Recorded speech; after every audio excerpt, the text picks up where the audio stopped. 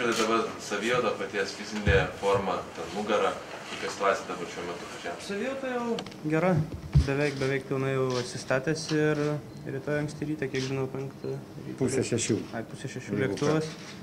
Tai neišmiegosim ryte, bet lėktuvą pamiegosim. Tai pas, pasiruošę skristi į Ispaniją, ten bus e, stovykla fizinio keletą savaičių ir tuomet turnyrai prasideda ant grunto. Kaip, įvertinat e, pasirodymus e, Miami'e ir Indian Velse apmaudu? Žinoma, toks yra kaip ir apmaudas visuomet, kai negali šimtų procentų sužaisti dėl kažkokių tai priežasčių, bet e, visko pasitaiko visiems ir tai vienam vienas nutinka, kitam kitas šį kartą mane nugarą truputį pavedė, bet visko pasitaiko ir svarbu, kad dabar jau galėsiu jau šimtų procentų būti pasiruošęs ir O tai kas ten nutiko e, su Feliciano trečiam, trečiam sete, buvo tik 3-0, tik viskas gerai ir po to su... su nutiko jau ne trečiam setė, bet antram setė ir vidury ir taip gavos, kad vėl tą nugarą kažkokio pavedė ir taip gavos, kad nebegalėjau jau šimtų procentų, bet tik žaidžiau pirmą setą.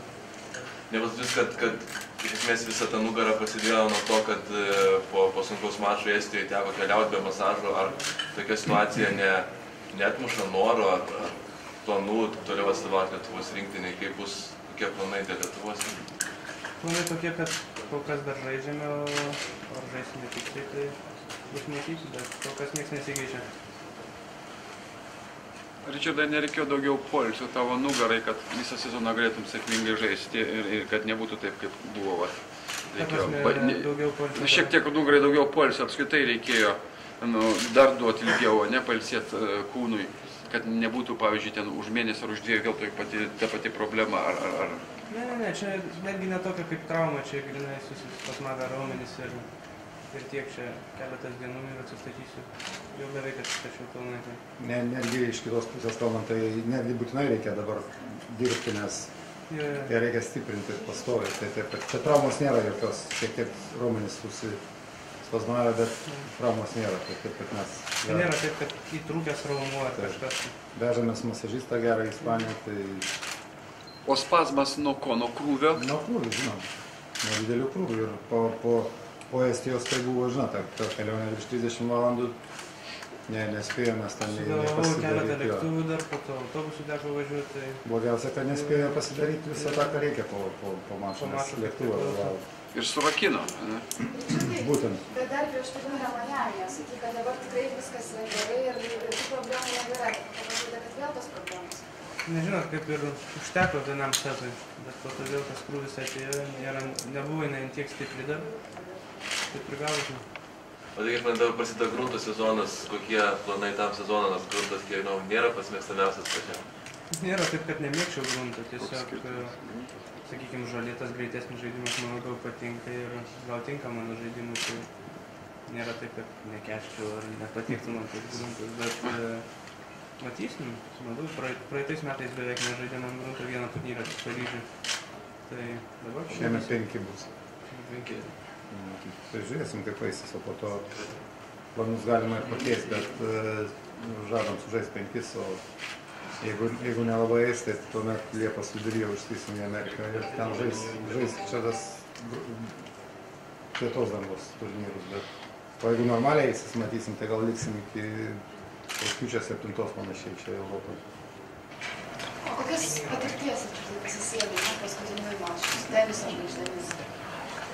Sunku dabar pasakyti, ką, nes e, tikrai tokie mačai buvo, kad e, kaip lyg ir buvau priekyje, bet negalėjau tiesiog pabaigti. Kiek tavo asmeninio gyvenimo yra ir ką Ryčardas veikia, tada turi laisvo laiko. Sunku ką ir pasakyti.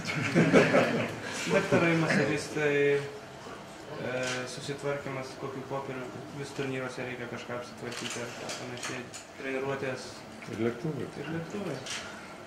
La, la, laisvo laiko labai daug nebūna. Tiesiog ir tą dieną, tarkim, kada nežaidžia Richardas, kokias turbūt šešias valandas į dieną tiek būna visokių reikalų. Tai dvi treniruotės ten, daktarai visokie, masažai. Kas yra būtina? Pavalgyti reikia sušį ne? Kas daugiau? Kiek progų turėjai pabūti su savo sveikata? Prieš Davis Cupą vieną dieną ir tuomet dabar jau kiek? Trys. Jau trys. Jau. jau kasdieną matau, tai ant akių auga. Koks jausmas? Geras.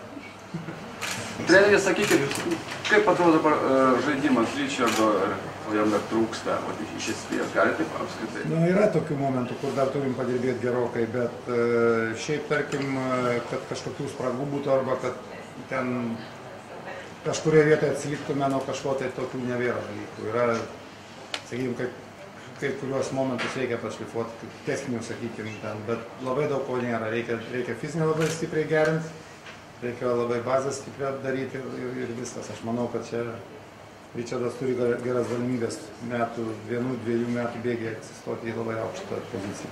Tai Kas jums dabar yra labai aukšta pozicija? Anksčiau šimtukas buvo. 50-ukas. Nu, 10 gal. Galvojam apie 20, bet paskui, žinau, apetitas kyla bevalgant, bet e, ta prasme mes nesureikšminam šito dalyko visiškai, nes e, yra taip, pas bus tiek, kiek bus, bet e, loš treniruojamės ir dirbam labai ne dėl to, kad ten atsistotų 20 poziciją. Šiaip tiesiog, tiesiog yra toks sportinis azartas ir aš galvoju, kai pateksim į šimtą, jau vis tiek reiks džiaut tą raketę, man užtenka, bet paskui Ričardas sako, nu ką čia jūs tiek, tiek pavarėm kartu, sako, dar pabandom. Bet dabar pažiūrėsim, kaip seksis toliau gal. 50 matysim po to gal dar kažką. O šiaip tai noras, aišku, yra pas kiekvieną sportininką. Į 10 patekti, o tam kaip Dievas. jau. Iš tų vat, visų žvaigždžių, su kuriam šiemet teko susidurti, ten Ferreras, Rodikas, Kardasko, Del Potro, kurio žaidimas padarė didžiausią įspūdį.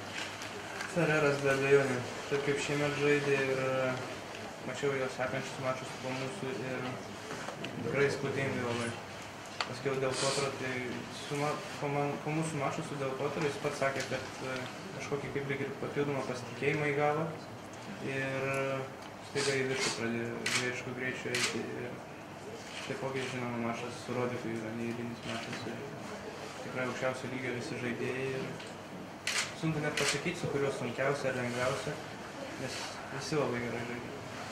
Tai dabar iš tų top žaidėjų, tai vat, kur yra pavardė, kurią labiausiai norėtųsi nugalėti. Geriausia. ne, nu nėra tokio grinai vieno, kurį labai norėtųsi nugalėti. Visiems laikas ateiti. Ateis.